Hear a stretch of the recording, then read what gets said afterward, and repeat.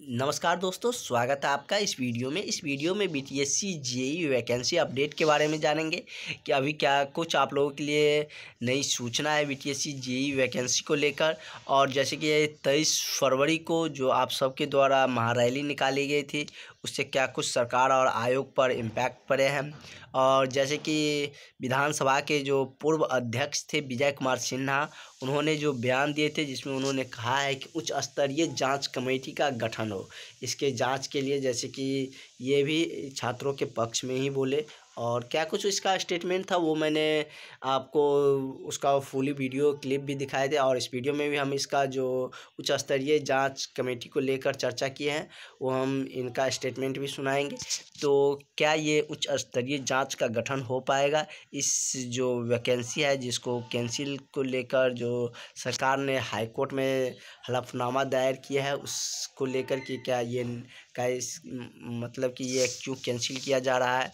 और जैसे कि उन्नीस से ही इसको लटका के रखा हुआ है और आप सबको पता है कि आयोग ने भी बोला था कि हम अक्टूबर के लास्ट अक्टूबर बोला गया था कि लास्ट अक्टूबर में हम रिज़ल्ट प्रकाशित करेंगे। उसी तरह नवंबर आया तो नवंबर में भी बोला गया कि नवंबर में हम रिज़ल्ट देंगे।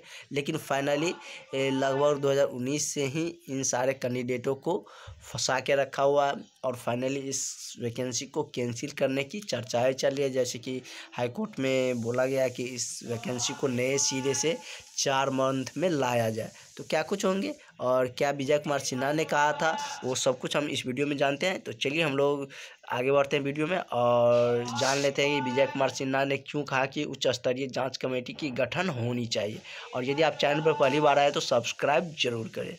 बीटीएससी के सैकड़ों अभ्यर्थियों पर हुई लाठीचार्ज की।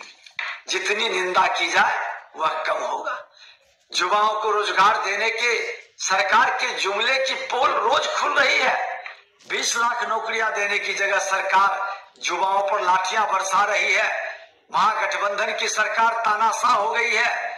जो लाठी के बूते युवाओं की आवाज़ को दबाना चाहती है। सरकार इस पूरे मामले की उच्च स्तरीय जाँच कराए।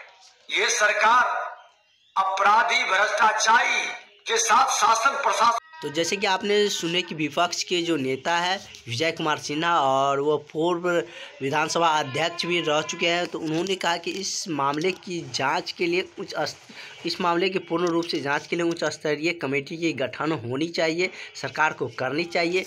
तो क्या इस पर सरकार अमल करेगी या उच्च स्तरीय जाँच का गठन होगा या क्या कुछ अपडेट आएँगे बी की तरफ़ से, आयोग की तरफ़ से? अभी तक कुछ अपडेट नहीं आया है।